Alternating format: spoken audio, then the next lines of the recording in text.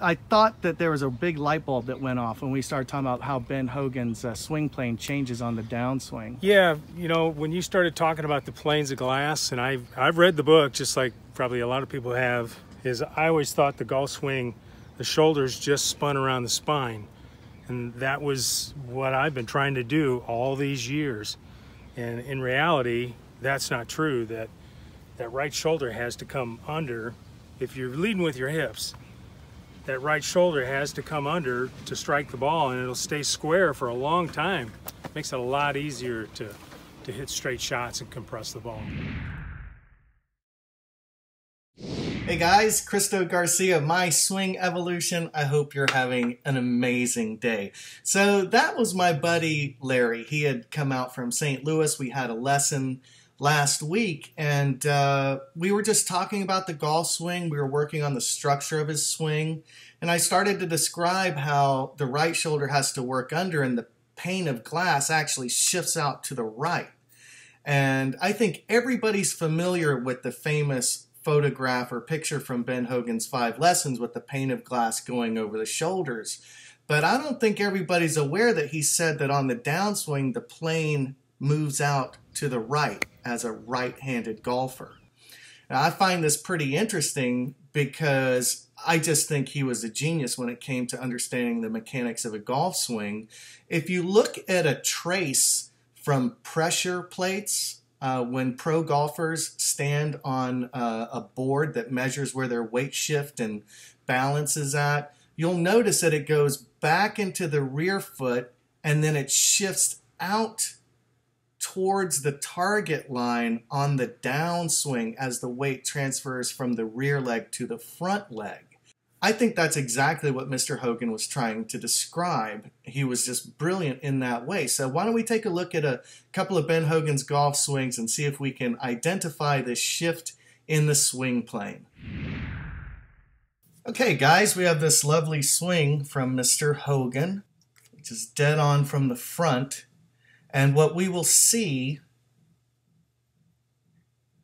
is as his body turns through the ball from the ground up.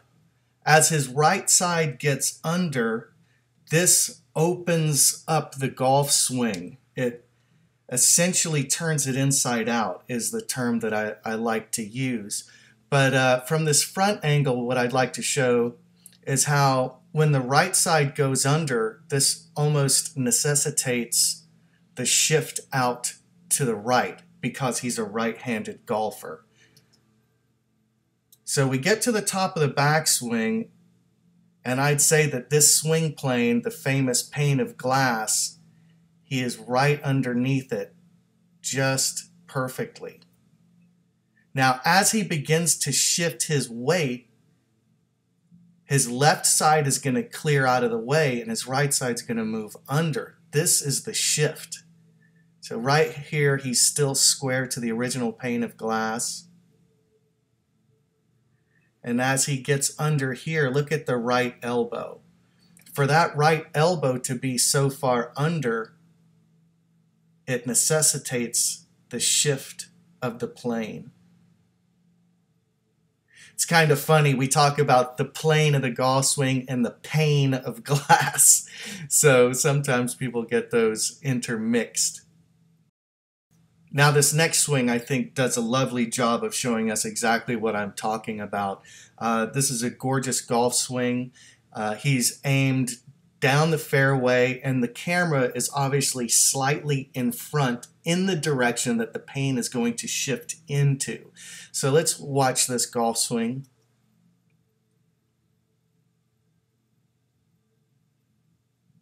God, what a gorgeous golf swing. Ben Hogan is the freaking man. So we'll watch him take it right underneath the pane of glass that we're all so familiar with. He's perfectly square, but now we're going to watch the left side clear out and the right side go under. And you almost feel like his hips and the swing is aimed more towards the camera than it was when he first set up for the backswing. Just gorgeous. Let's watch it one more time. And there's the shift.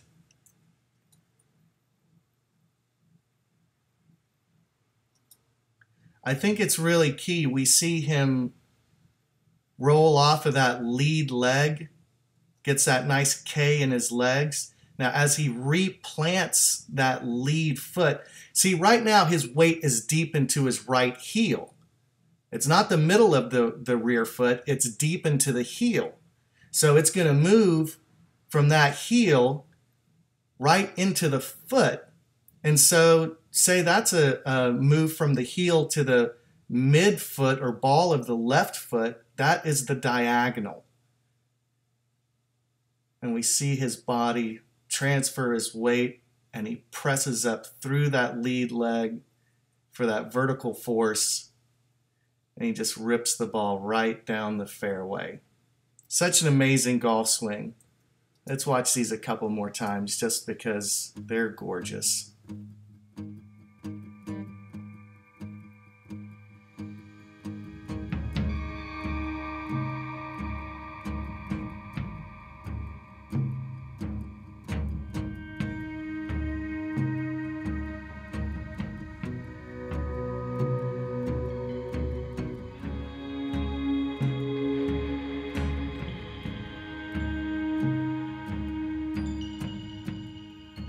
Just beautiful. So the next MSE Intensive is this weekend, August 25th. If you'd like to sign up in the next two days, I'm offering an enrollment special, so you can email me at myswingevolution at yahoo.com. I'm going to go through all 10 fundamental lessons for my swing evolution this Saturday, August 25th. I hope you hit them long and hit them straight. Hey guys, so let's cut to the chase. Here's my old golf swing.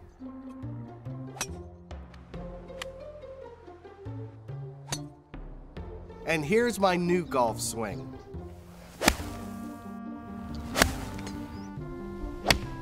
Five years ago, I started a YouTube channel and I wanted to improve my golf swing by using Ben Hogan's five lessons. Well, guess what? It worked. And along the way, I picked up over 8 million views on YouTube and I learned how to shoot under par. Unbelievable, right?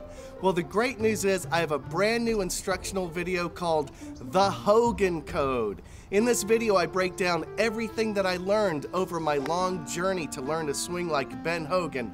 And now you can learn the very same techniques that I used to become the golfer I always wanted to be.